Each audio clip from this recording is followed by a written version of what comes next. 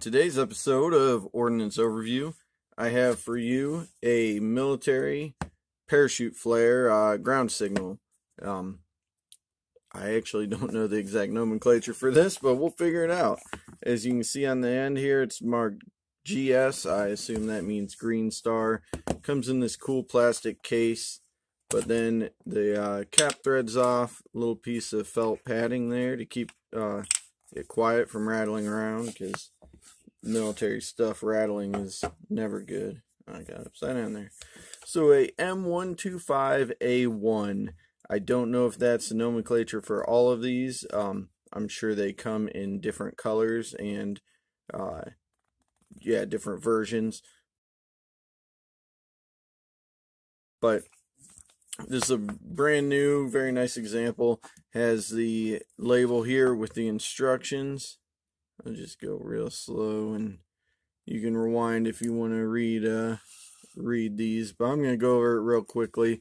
Um, if you look at this, you got this red knurling on one end and what looks like a shotgun uh, um, primer at the end recessed in there. And then at the other end, you have this cap. Now this cap has a little piece of spring tab there to keep it um, from coming off, and that kind of has another reason. Then you'll have a cork sealant with a latex paint sealant over, or a cork cover with latex paint sealant. Um, it's a common way to seal up these signal rounds, even 37 and 40 millimeter rounds. Now the way you use this is in the cap, there is a striker firing pin type thing at the bottom that lines up with that. So you take it off the one end, it acts as a cap, put it on the other end, and it's kind of like a big slam fire gun. And essentially, I'm going to do this carefully so I don't burn my shop down. But you slide it up to the red knurling, get it there, and then let's see, uh,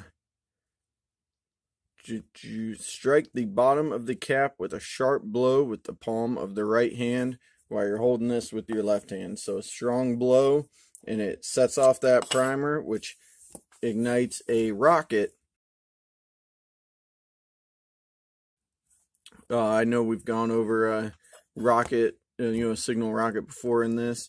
These are aluminum rockets. I'll put up a picture right here.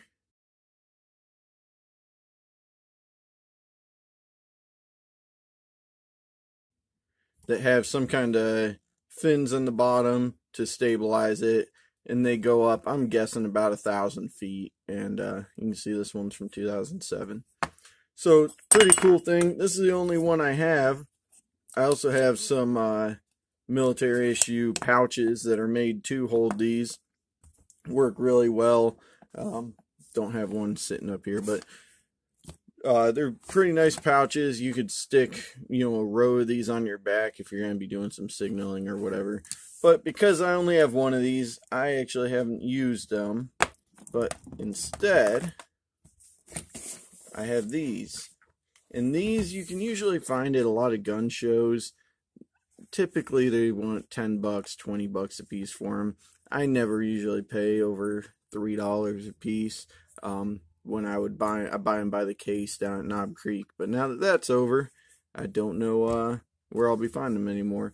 But what these are are these are essentially the same thing, only instead of having a cap that you strike that strikes the primer, like these smaller ones have a pull string.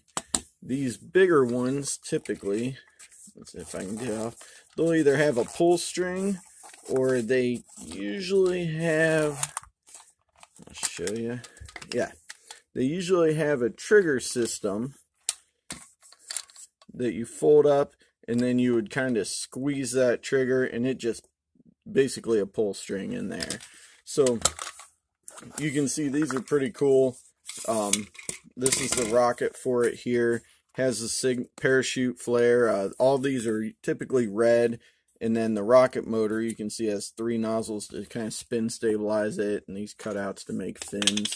The uh, skinnier one is pretty much the exact same. The only difference is it does not have the spin stabilization, but it does have the you know uh, cutouts for the fins. These are really cool. They go a thousand feet. Uh, I usually have better luck with these ones actually, and I can carry more of these um, for any given time. But the big ones are cool. Some of them, depending on the brand and model, uh, some of the big ones are aluminum rockets as well. Some are black plastic. You'll find a variety. Typically, the smaller ones are all typically um, pretty much the same. The only difference I've found is some have a plastic cap instead of this soft rubber one. But these are just as much fun. Um, they aren't military, so uh, easier, you know, easier to find and less collectible. So you don't mind using them on the Fourth of July. I definitely don't use them when it's dry out. Only on rainy days, uh, you know, into the night because if you had, I haven't had any issues, but if you had a parachute failure or it didn't deploy all the way or the flare just burned slower, you could set a field on fire, house on fire, tree on fire, something like that. Um, so they are dangerous and, or, you know, they are a fire hazard. So not something to, you know, um, be reckless with. Very fun though. I hope you guys like this video. If you did, hit the like button, subscribe. Have you played with some of these? Like I said, they're available at a lot of gun shows. They're a lot of fun. Um, my wife actually likes these the most. She was the one who told me I had to buy another case of them, you know, at Knob Creek. So I got the last case the guys had on uh, Saturday, just by luck.